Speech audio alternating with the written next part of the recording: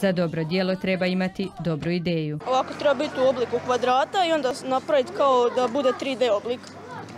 I onda napraviti kao lice od čovjeka da bude kao 3D. Pola sata kasnije početna ideja uspješno je realizirana, a inspiracija je došla iz pravog izvora. Postava spomen galerije Ivana Meštrovića u Vrpolju. Dobili smo zadatak da prođemo kroz galeriju i da odredimo koju ćemo skulpturu raditi i ja sam svoju eto, našu. Što si odlučio raditi? Pa nekog e, čovjeka na križu, a mislim da nije Isus. Radimo Isusa na križu. Zato što, zato što mi je lijepa ta skulptura. Svatko je izabrao ono što mu se najviše sviđalo i to sve u sklopu male kiparske radionice. Danas smo izašli i analizirali skulpture Ivana Meštrovića, potom sam učenicima dao komad gline da skulpturu koju su, koja im je bila najzanimljivija ili koja im je bila najinteresantnija te da nju izmodeliraju u glini. Rezultat je bio, slažu se i učenici, i više nego izvrstan. Izgleda komplicirano, ali nije u stvari. To jest ono što se učenicima želi dočarati. Današnji dan otvorenih vrata spomen galerije Ivana Meštrovića bio je prilika za edukaciju onih najmlađih. Meni se to sviđa, ono, dobro je mjesto da nešto novo naučiš. Jesi li danas naučila nešto novo?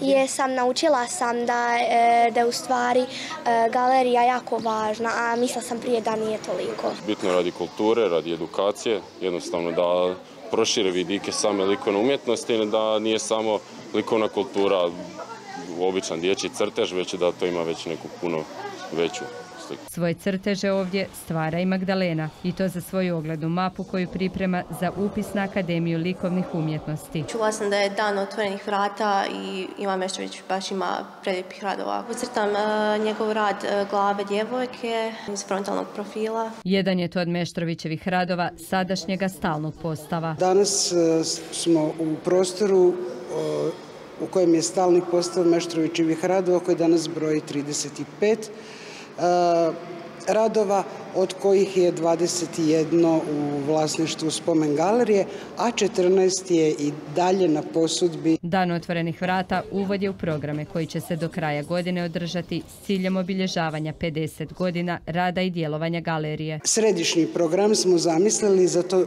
kandidirali ministarstvu i za to dobili potporu Ministarstva kulture i medija, a to je izložba Ivan Meštrović, portreti suvremenica i suvremenika koja se u rujnu mjesecu treba otvoriti ovdje u, u, u Vrpolju. Biće tu još svega, koncerta, izložbi, radionica. Nakon ljeta u Vrpolju sve one koji do sada nisu vidjeli vrijednu zbirku radova velikoga hrvatskog kipara i one koji ju žele ponovno posjetiti čeka bogata jesen.